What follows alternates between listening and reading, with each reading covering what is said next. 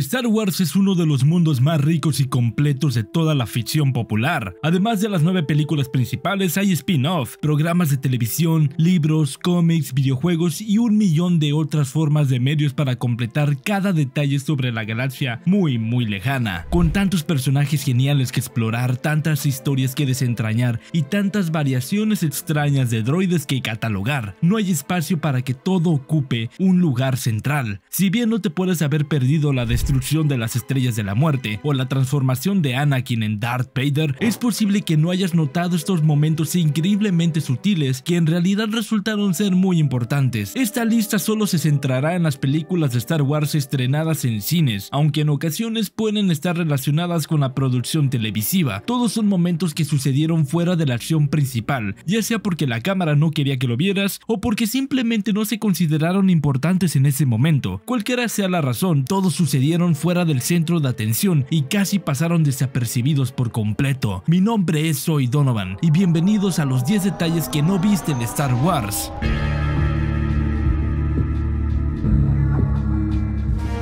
Número 10 en el retorno del Jedi hay una escena muy famosa en la película donde la princesa Leia rescata a Han Solo de la carbonita. Es una parte buena del cine, pero tiene un solo defecto. Después de que los dos románticos rebeldes se reencuentran, suena la risa tan familiar de Jabba. Resulta que él y sus compañeros estuvieron observando y escuchando todo, incluido Tripio. Pero ¿por qué Tripio estaba ahí? Luke Skywalker le había dado a Tripio a Jabba como regalo, todo como parte del plan de los Jedi para infiltrarse en el palacio de Jabba. Sin embargo, no podrían haber advertido a Han y a Leia de que estaban siendo espiados? Bueno, si miras de cerca cuando Java y compañía salen de su escondite, verás que el droide en ningún momento habló o dijo algo, pues es porque uno de los miembros del grupo de Hut estaba poniendo su mano sobre la boca de Tripio, impidiéndole revelar a Han y a Leia de que estaban siendo observados. Esto podría significar que nuestro amigo Tripio intentó advertir a sus amigos, pero fue interrumpido antes de que pudiera hacerlo. De cualquier manera, es bueno saber que Tripio no es tan cobarde después de todo Número 9. Al huir de Naboo en la amenaza fantasma, Qui-Gon, Obi-Wan, Amidala y sus acompañantes terminan en el planeta desértico de Tatooine. Aquí se encuentran con un niño llamado Anakin, pues él resulta ser el niño profetizado que algún día traerá equilibrio a la fuerza. No son los únicos intrusos en el mundo natal del pequeño Anakin. Los buenos son perseguidos durante aproximadamente un tercio del tiempo total de pantalla de Darth Maul. El Sith con cuernos aterriza en el mundo árido y envía un grupo de droides rastreadores para encontrar a su objetivo. El público debe de asumir que tuvieron éxito, ya que en realidad nunca ven al robot en funcionamiento, o a los robots. Después de que Anakin gana su libertad en una carrera de cápsulas, se ve a Qui-Gon hablando con su antiguo dueño Watto. Al fondo de esta toma puedes ver uno de los droides de Maul buscando. Este es un pequeño detalle que realmente no tendría por qué incluirse en la escena. Hace un gran trabajo al unir la parte de Tatooine de la película. Número 8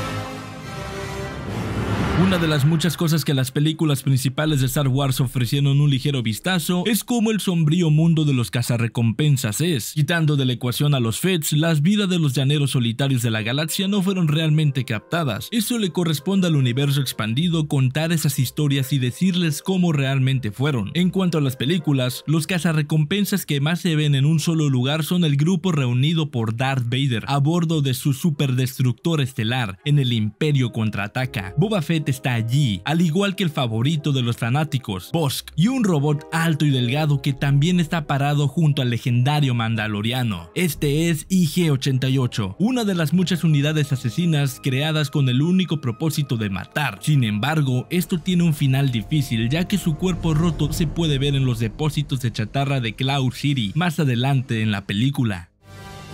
Número 7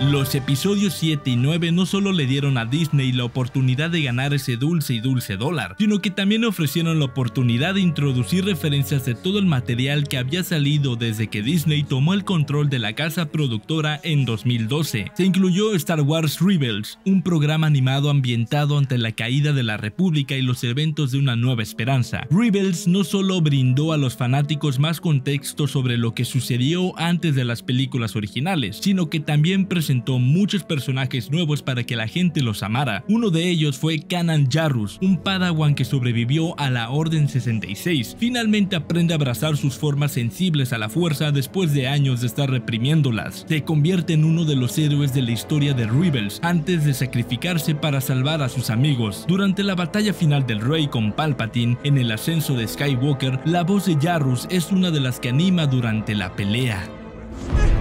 En el corazón de un Jedi yace su fuerza. Asciende, asciende. Número 6 Rogue One hizo un trabajo fantástico al explicar cómo la Alianza Rebelde consiguió los planos originales de la Estrella de la Muerte. Los fanáticos conocen un poco más sobre los diversos escuadrones de pilotos de combate que luego servirían en las batallas espaciales más feroces de la rebelión. Uno de ellos es el Escuadrón Rojo, que pasaría a ser conocido como Escuadrón Pícaro, y jugaría un papel clave en el asalto de ambas Estrellas de la Muerte. En Rogue One se involucra en la batalla culminante de la película en el planeta Scarif. Durante la escaramuza, uno de los miembros del escuadrón es volado y asesinado. El distintivo de llamada de este desafortunado era Rojo 5. ¡Aquí Rojo 5! ¡Ayúdenme! Lo que debería resultarle familiar a cualquier fanático de Star Wars que conoce todos los personajes importantes. Rojo 5 es el puesto que ocuparía nada más que el propio Luke Skywalker cuando se unió a la flota de la Alianza. La muerte de este personaje en Rogue One abrió la puerta para que Skywalker se uniera, lo que a su vez hizo que pudiera salvar a toda la galaxia entera. Número 5 no puedes dar nada por sentado en Star Wars, porque incluso el personaje más secundario podría algún día terminar jugando un papel importante en la saga. Un ejemplo real de esto ocurre durante la carrera de vainas Bonta Eve Classic en Star Wars Episodio 1, La amenaza fantasma. Mientras Anakin, Sebulba y otros favoritos recorren los cañones, se puede ver una figura de aspecto femenino con piel blanca pálida y cabello rojo oscuro mirándolos desde arriba. Esta es la primera vez que los fanáticos de Star Wars conocen a Aura Singh, como se revela más tarde en la serie animada de Star Wars Clone Wars. Singh es una recompensas muy poderosa con algunos elementos de sensibilidad a la fuerza. Ella también es quien entrena a Boba Fett en algunas formas del combate y finalmente se une a él en una misión fallida para asesinar a Mace Windu. Singh aparece por todas partes en los mitos de Star Wars e incluso recibe una mención en Solo. Este cameo de parpadea y te lo perderás fue el catalizador de todo. Pero la pregunta aquí es ¿por qué realmente estaba observando la carrera? Número 4 Volvamos a Rogue One ahora y su tenso final en Scarif. Jyn Erso y su tripulación han descubierto que aquí es donde se guardan los planos de la Estrella de la Muerte. Se embarcan en una misión para recuperar los datos, lo cual les va muy bien y definitivamente no termina con la muerte de todos. Obviamente hay más de un conjunto de planes en Scarif. Allí hay un edificio entero lleno de los secretos más profundos y oscuros del Imperio. Hay una énfasis en la parte oscura. Mientras escanean los archivos, Erso lee varios nombres de archivos diferentes. Uno de ellos es Black Saber, que no es la única vez que se menciona este concepto en Star Wars. Manto de guerra, cúmulo prisma, sable negro. ¿Qué? Black Saber seguramente se refiere al Dark Saber, un poderoso sable de luz antiguo que se introdujo por primera vez en el programa animado Clone Wars. Aparece de forma más destacada en The Mandalorian y es uno de los principales MacGuffins de la segunda temporada. Esta línea de Rogue One demuestra que el Imperio tenía conocimiento del sable desde el principio, lo que explicaría cómo cayó en manos de Moff Gideon más adelante. Número 3 este es un poco tonto, pero tiene un punto muy interesante. En la amenaza fantasma durante las muchas escenas brillantes del Senado Galáctico, la reina Midala, o su doble para ser más precisos, pide un voto de censura contra el canciller Valorum. Este momento pone en marcha la cadena de acontecimientos que llevan a Palpatine a convertirse en canciller. Luego están los poderes de emergencia, la Orden 66, la tragedia de Darth Plagueis el Sabio, etcétera, etcétera, etcétera. Mientras los diversos representantes alienígenas alienígenas reaccionan a las palabras de Amidala, puedes ver un grupo de extraterrestres que se parecen mucho, bueno, al extraterrestre. Una pandilla de personajes que se parecen mucho a E.T. se le puede ver entrando en acción. Combina esto con una escena de esa película en donde el personaje principal parece reconocer a un niño disfrazado de Yoda y el momento de la teoría de la conspiración. Este pequeño detalle seguramente prueba de que E.T. y Star Wars tienen un lugar dentro del mismo universo compartido, o tal vez se trataba simplemente de que George Lucas y Steven Spielberg, que son buenos amigos en la vida real, y hacen pocas referencias al trabajo de cada uno. Número 2. Cuando el despertar de la fuerza llegó a los cines como un tren de carga en diciembre de 2015, los fanáticos de Star Wars estaban encantados de ver a varios personajes oscuros de la trilogía original hacer su regreso triunfal. Uno de ellos era el Mon Calamari, favorito de todos, el almirante Yial Akbar. Akbar apareció más famosamente en el retorno del Jedi, liderando la carga contra la segunda estrella de la muerte. En el despertar de la fuerza, se demostró que se unió a la resistencia del general Lia, demostrando una vez más ser una activo valioso y luego simplemente murió. ¿Se debería haber dado más tiempo a la muerte de Akbar? ¿Quién puede decirlo? Pero su legado nunca morirá gracias a tres pequeñas palabras. ¡Es una trampa! Número 1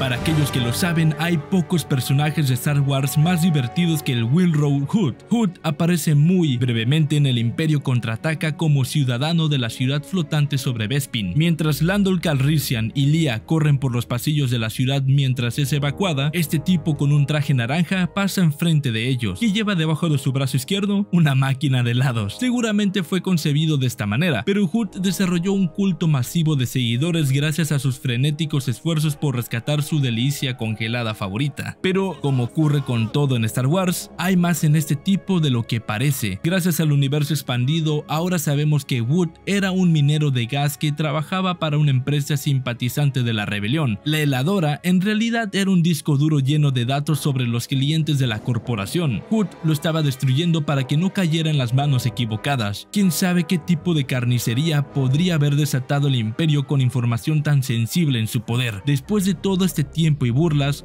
resulta que nuestro chico en realidad era un gran héroe. Espero que te haya gustado este video, sabes que le puedes dar un pulgar arriba y compartirlo con todos sus amigos. Mi nombre es Soy Donovan y nos veremos en el siguiente video.